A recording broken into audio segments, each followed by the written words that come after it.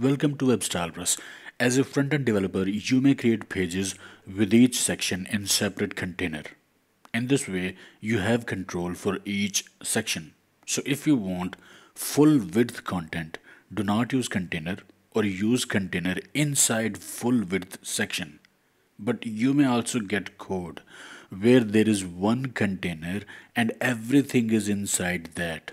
Now if you have to extend any section or any div or any image or take full width for a div, how would you do that when all the content is already inside a container? This is pretty easy with CSS.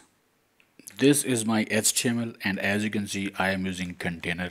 I have used bootstrap with this template and here is our HTML. A paragraph, an image, then again paragraph, then we have a call to action area, then a paragraph.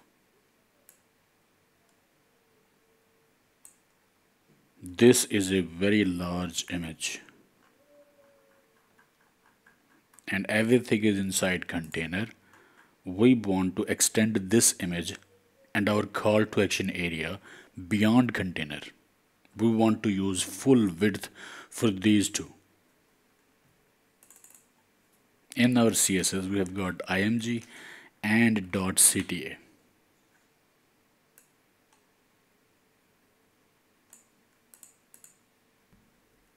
For image, we will use 100% viewport width and use calc CSS function to adjust that. Width 100 VW and then max width also 100 VW then we will use margin left. Calc css function we will move it to left minus 50 VW then we'll add 50% to it 50% and there you go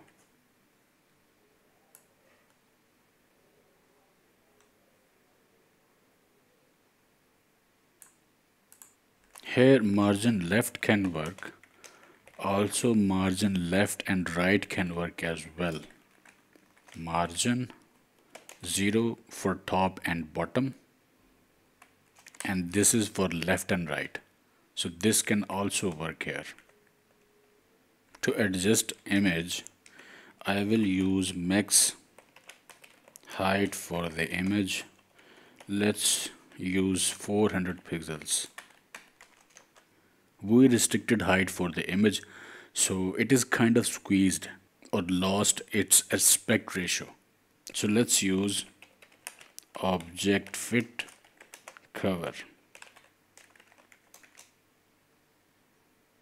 Now it is better. Object fit cover is like background size cover but for the image.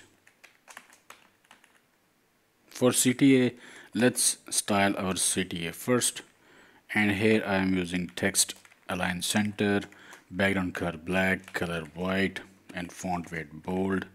And then we will use similar technique there.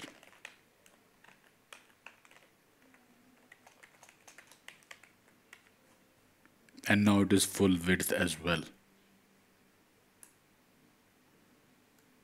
And these are responsive as well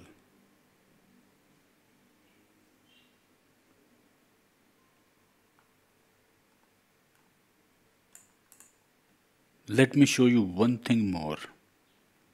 Here are my generic styles. For body, I have used overflow X hidden. If I comment that,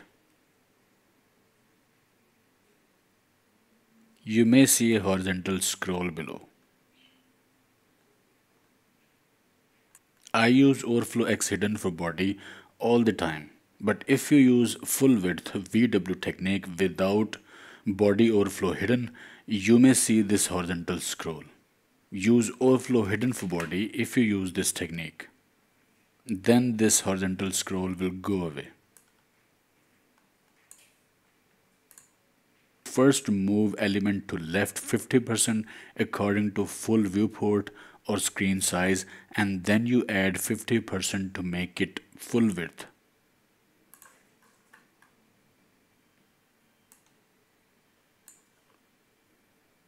I hope you liked this technique. Okay, like, share, subscribe and I will see you in the next video.